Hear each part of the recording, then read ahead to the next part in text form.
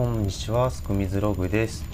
えー、今回は関西シクロクロス篠田山の思想動画を見ながらコースについて解説していこうと思います。えーと、これちょっとスタートはスタート地点からじゃなくてその少し手前からなんですけど、ナイアガラっていうエリートコースの下りです。で、その次に上りがあるんですけど、えーと、これはちょっと乗っていけるかどうか試してみて、えーと、これたまたまうまくいった、えー、パターンです。で、えっ、ー、と基本この公園内のコースなんですけどどちらかというとマウンテンバイクっぽいこうゴツゴツしたシングルトラックが、えー、多いコースです。で、えーと、今ご覧の箇所は、え、結構竹の切り株みたいなのがあってこうパンクしそうなところなんで結構慎重に走ってます。でそれが過ぎるとこれがちょうどスタート脇なんですけどここを抜けるとちょっと開けたところであの芝の連続コーナーセクションです。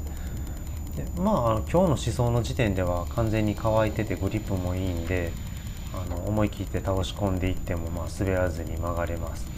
ちょっと場所によったら先が見通し悪かったりコーナーが回り込んでる場所があるんで、まあ、そういうところは思想でしっかりと、えー、どういう路面でどういう形になってるかっていうのを、えー、判断しておくようにしています。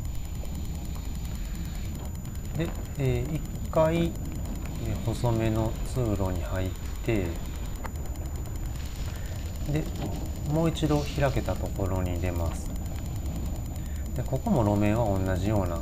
草地なんでしっかりとタイヤはグリップします。で少しだけ上下の動きがあってその後試験員の方に向かいます。試験員は結構高くって、えーと、4段分あるんで、まあ、40センチぐらいですね、まあ、かなり高いんで乗車で行くのはちょっと難しいと思います。で、えー、それが終わるとちょうどコースの裏手の方に出まして砂利の路面になります。でまあここはまあ直線なんで踏みどころなんですけどあの割とグリップが悪いんで、まあ、コントロールも注意してください。で1回回って今のところは草地なんですけど次がちょっと砂利が浮いたコーナーでここはよく転倒者が出るポイントです。まあ、慎重に曲がってしっかり加速してもう一度シングルトラックに入っていきます、まあ、結構動画では見えにくいんですけど根っこが張り出してたり、まあ、こういうダイナミックなまコーナーセクションもあったりするんであの思想でしっかり見ておかないと、まあ、転倒したら怪我もするリスクが高いようなポイントです。まあ、篠田山のコースの、まあ、面白いところでもあるんですけど、まあ、こういう縦の動きっていうのはあのー、まあ、マウンテンバイク乗ってたりするとだいぶ乗れる人もいると思うんですけど、まあ、あのロードだとかシクロクロスだとかっていうのばっかりだとなかなか対応できないような動きもあるんで、まあ、自分のテクニックとかと相談しながら、まあ、乗っていくのか、まあ、安全に降りるのかま、速度もどれぐらいだったら乗っていけるのかっていうのを判断するようにしてください。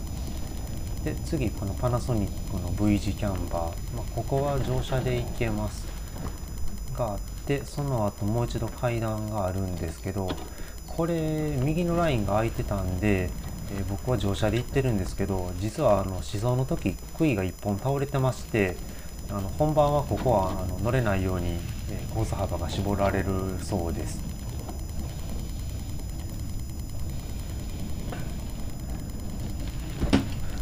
で、えーと、その後はまたあの本部のある広場のエリアの方に出てきましてでちょっとこう東山でぐいっと登ったりしながら、えピットの横を通ります。で篠田山はピットは隣接してるんですけど2箇所あって、えー、今通るのが2箇所目ですね。これちょっとキッズも合流があるんで、えー、と注意です。これがピット前ですね。でここを過ぎると、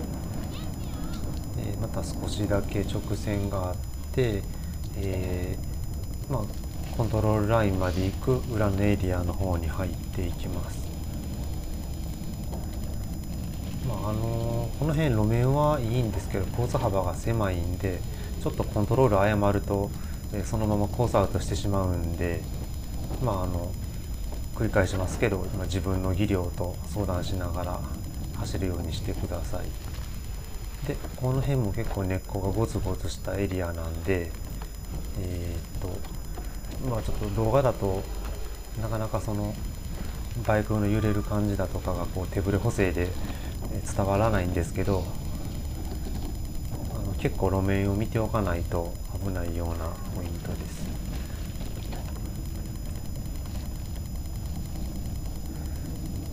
で、えー、ここ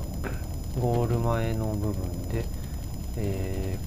ー、このまままっすぐ行くと、えー、フィニッシュです。で、え通常の周回はコントロールライン過ぎたらすぐ右に入って、えスタート地点の方に戻っていくような形になります。まあ、あの今回の篠田山のコースレイアウトはスタート地点とコントロールラインがご覧のように離れているんで、えー、っとちょっと分かりづらいような部分もあります。でちょっとこういう高低差をもこもこっと超えて